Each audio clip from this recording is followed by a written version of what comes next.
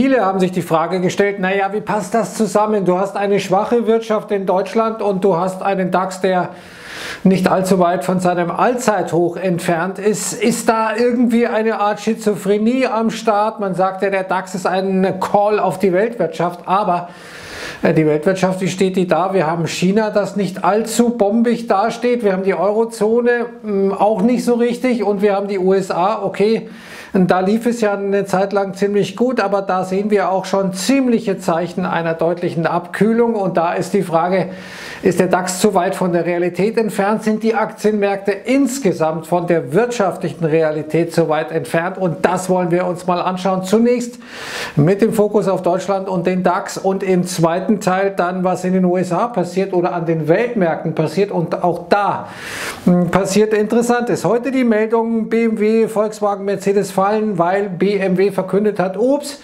wir müssen viele, viele Autos zurückrufen, wir haben einen riesigen Schaden erlitten, weil Continental Bremssysteme geliefert äh, hatte, die offenkundig äh, nicht wirklich funktionieren. Das hat BMW nach unten gebracht, äh, Volkswagen, Mercedes, aber eben auch die Aktie von Continental. Dazu Probleme in China, wie alle deutschen Autobauer oder europäischen und auch amerikanischen Autobauer.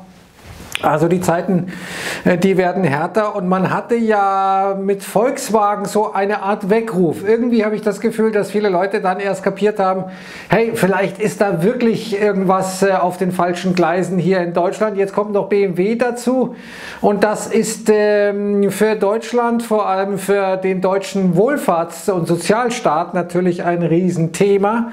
Äh, denn schauen wir uns mal an, im DAX sehen wir eine Volkswagen, BMW, Mercedes, die haben zusammen zusammen 6,5% Gewichtung nur. Das ist nicht mal die Hälfte dessen, was SAP auf die Waage bringt. Das heißt, wenn SAP ein bisschen steigte, dann äh, kann ähm, eben äh, der Verlust bei Volkswagen, BMW und Mercedes kompensiert werden. Aber das spiegelt eben nicht die wirkliche Realität wider. Die sieht nämlich so aus, dass in den Bereichen Car Manufacturing und äh, Autoteile und alles, was eben Zubehör dazugehört, dass wir da zwar weniger Arbeitsplätze haben als noch vor Corona oder kurz vor Corona, aber es sind fast 800.000 und das ist eine ganze Menge, denn diese 800.000 Jobs, die sind äh, sehr, sehr gut bezahlt in der Regel. Auch das steht ja jetzt auf dem Prüfstand. Unten sehen wir mal den Vergleich zwischen dem DAX und dem MDAX. Und der MDAX war ja lange Zeit sehr stark, vor allem vor Corona, aber seitdem, seit im Grunde 2022,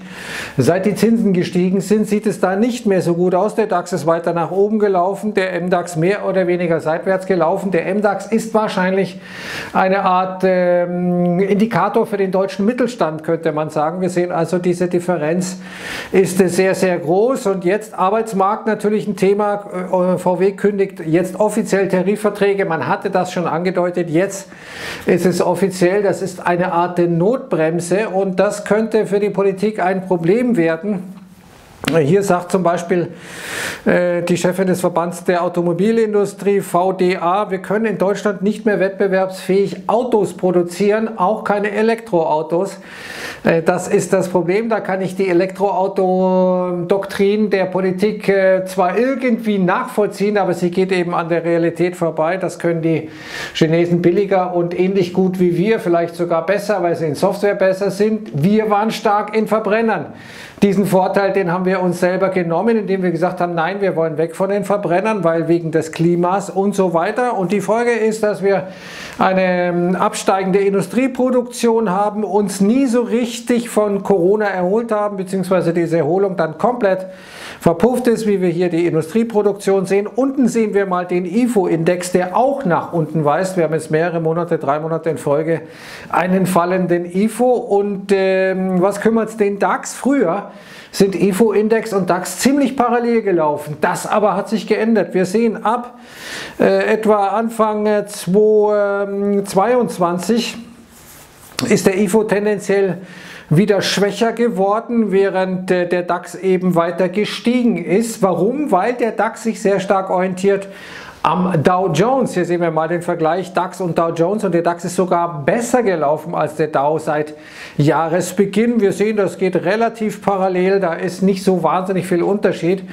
Ähm, der DAX orientiert sich also letztendlich an, den Welt, äh, an einem Weltindex, kann man sagen, der allerdings eine fragwürdige Zusammenstellung hat. 30 Aktien, ähm, die ähm, nach Preisen gewichtet sind, also kursgewichtet sind. Das heißt, eine Aktie, die 200 Dollar kostet, ist doppelt so stark gewichtet im Index wie eine, die 100 Dollar kostet. Aber eben diese Geschichte mit dem DAX als Call der Weltwirtschaft. Ja, wo macht er denn Geschäft? Er macht vor allem in der Eurozone Geschäft. Und dann äh, in USA, respektive also die deutschen Konzerne. Und natürlich in Good Old Germany, 18 Prozent. Äh, 15 Prozent in China. In Deutschland läuft es nicht so gut, sind schon mal 18 Prozent. China läuft auch nicht so gut, sind schon mal nochmal 15 drauf, 33. Eurozone 24. Und dann sind wir schon bei 57. Und da muss es schon äh, ein blendendes Geschäft in den USA geben, damit das irgendwie aufgefangen werden äh, kann. Und die Frage, die sich stellt, naja, wenn es äh, der deutschen Autobranche so schlecht geht, die ja maßgeblich den Wohlstand in Deutschland mit äh, hatte, dann kommt auf Deutschland, kommen auf Deutschland ungemütliche Zeiten zu, vor allem auf Bundesländer, die industriell eben durch diese Branche geprägt sind, Baden-Württemberg, äh, Thüringen, Sachsen, das Saarland, wie sie alle heißen. Und äh, das wäre auch für den Bundeshaushalt, der schwer in der Kritik steht von Experten, ein Riesenthema, denn dann fehlen Steuereinnahmen, die letztendlich diesen Sozialstaat ermöglichen. Und schauen wir uns mal ein anderes Industrie, ehemaliges Industriedickschiff an, nämlich ThyssenKrupp, jetzt unter 3 Euro, tiefster Stand äh, seit Jahrhundertbeginn. Und äh, Daniel Eckert sagt, mein persönliches ThyssenKrupp Kursziel angesichts der Rahmenbedingungen in Deutschland 0 Euro, mit anderen Worten, äh, Energie zu teuer, zu hohe Auflagen, äh, du kannst äh, hier nicht wirklich rentabel produzieren und das liegt eben auch an den Energie Energiekosten nicht nur in Deutschland, an der Bürokratie nicht nur in Deutschland, sondern äh, auch in der EU und hier sehen wir, Mario Draghi hat es ja in seinem Report eigentlich auf den Punkt gebracht, indem er gesagt hat, höhere Energiekosten sind ein Hindernis ähm, für Wachstum, aber diese höheren Energiekosten Kosten sind ja entstanden, weil man ja besonders grün sein will und sagt, ja, ihr müsst aber diese Vorgaben einhalten. Das macht natürlich Sinn, wenn die anderen sie nicht einhalten, dann hast du einen Wettbewerbsnachteil und das merken wir jetzt, das ist das große Problem ähm, das von Mario Draghi erkannt wurde. Aber was passiert? Naja, wir sind dann eben aus dem ausgestiegen, was uns eine günstige Energie ähm, gesichert hätte. Hier jetzt eine Studie, die zeigt, Deutschland hätte hunderte von Milliarden Euro einsparen können und hätte eine bessere CO2-Bilanz noch obendrauf. Äh, wenn man eben diesen Schritt nicht gemacht hätte, der zum grünen, wie man sagen, Religionsbekenntnis eben gehört hat. Die Grünen wollten das unbedingt durchsetzen. Und äh, also jene Generation, die mit verlässlicher Energie, wie Axel Bojanowski hier schreibt, zu Wohlstand kam, äh, die hat ihren Nachkommen im Prinzip den Strom abgedreht und mit immensen Schulden ein Energiesystem aufgebaut, das weniger klimafreundlich, aber viel teurer und weniger verlässlich ist. Und irgendwann kommt die Rechnung, da ist äh, sozusagen diese Religion dann auch zu bezahlen in den Konsequenzen. Und äh, genau das hat äh, Draghi ja angeprangert, da müssen wir was ändern. Aber das Problem ist, er schlägt immer mehr Schulden vor und letztendlich eben eine Schuldenunion und die Deutschen sollen letztendlich diese Schuldenunion absichern. Ein immer schwächer werdendes Deutschland soll diese Schuldenunion absichern. Im Grunde ist es eben so, dass äh, Deutschland oder diese Schuldenunion, die jetzt durch Staaten gebildet werden soll, das ersetzt, was äh, früher die EZB war, die ja Staatsanleihen gekauft hat und damit natürlich nicht die Staaten finanziert hat, äh, nur indirekt Geld die Staaten finanziert hat. Also praktisch die Staaten sollen jetzt in die Rolle der EZB schlüpfen, weil die keine Staatsanleihen mehr kaufen will. Das ist natürlich lustig und insgesamt muss man sagen, man äh, hat in äh, Europa, nicht nur in Deutschland, sondern in Europa oder in der EU, die Wirtschaft erfolgreich aus den Weltmärkten heraus reguliert. Will jetzt sein Heil in höheren Staatsschulden suchen. Genial. Und äh, wir brauchen keine Gemeinschaftsschulden, sondern eine, Regul äh, eine radikale Deregulierung der Wirtschaft. Wir sollten vielleicht mal äh, ein bisschen nach Argentinien gucken. Das sind schmerzhafte Einschnitte, keine Frage. Aber die Frage ist, was ist besser? Wenn du einen Tumor hast, dann operierst du ihn besser raus, sofort, auch wenn das natürlich äh, nicht schön ist, als wenn du diesen Tumor weiter verschleppst und dann an dieser Krankheit eben verstirbst. Das ist das, was wir derzeit machen.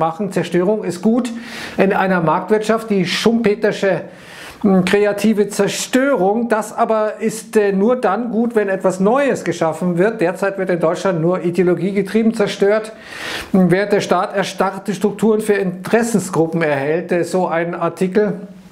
Ich glaube, da ist was dran.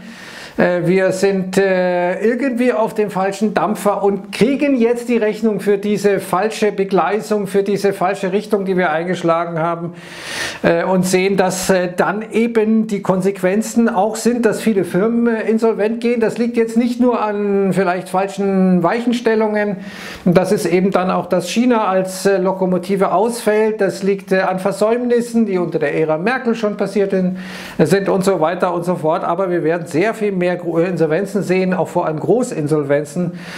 Und äh, damit äh, wird die Sache ungemütlicher. Wenn wir schon eine solche Spaltung innerhalb der Gesellschaft haben, ohne große Arbeitslosigkeit, was passiert erst dann, wenn eine Arbeitslosigkeit nachhaltig steigt? Das mag man sich gar nicht ausmalen. Erste Empfehlung, meine Damen und Herren, äh, da gibt es aber die Bundesregierung, die hat wunderbare Tricks und hier ein paar Wirtschaftsforscher nehmen das ganz schön auseinander. Hochamüsant, was man sich da hat einfallen lassen von der Bundesregierung. Das ist die erste Empfehlung. Empfehlung gerne weiter teilen und die dringendste Empfehlung natürlich, äh, weiter gucken, den zweiten Teil. Da sprechen wir über das, was an den Weltmärkten passiert mit einem Ölpreis, der auf den tiefsten Stand seit 2021 fällt, als Zeichen für eine Rezession, auch in den USA, Abkühlung erkennbar. Also, den Link packe ich wieder unter das Video. Unbedingt schauen. Ich sage erst einmal Servus, ciao, wir sehen uns gleich.